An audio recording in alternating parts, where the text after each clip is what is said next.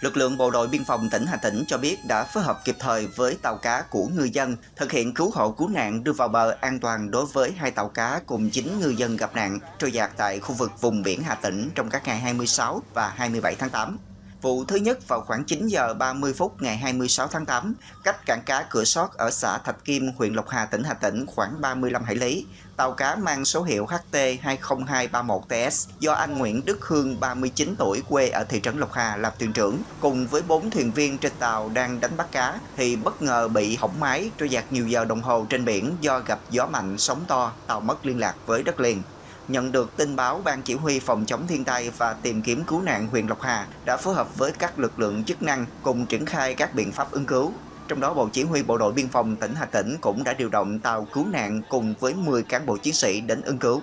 Khoảng 1 giờ 15 phút ngày 27 tháng 8, lực lượng bộ đội biên phòng tỉnh Hà Tĩnh đã tiếp cận được chiếc tàu gặp nạn, đồng thời cung cấp lương thực thực phẩm, kiểm tra sức khỏe cho các thuyền viên trên tàu. Sau đó đến khoảng 8 giờ 30 phút ngày 27 tháng 8, đưa 5 thuyền viên và phương tiện vào khu vực cảng cá cửa sót an toàn. Vụ thứ hai vào trước đó sáng 26 tháng 8, tàu đánh cá mang số hiệu HT90192TS của anh Trần Văn Sơn, 41 tuổi, quê ở thị trấn Lộc Hà, cùng ba thuyền viên đang đánh bắt cá thì bất ngờ bị sóng to gió mạnh đánh chìm tàu trên vùng biển Hà Tĩnh. Sau đó được một số tàu cá của ngư dân ở gần kịp thời ứng cứu. Đến khoảng 22 giờ 30 phút tối 26 tháng 8, các ngư dân gặp nạn đã được lực lượng bộ đội biên phòng tỉnh Hà Tĩnh phối hợp với tàu cá của ngư dân đưa tới cảng cá cửa sót an toàn.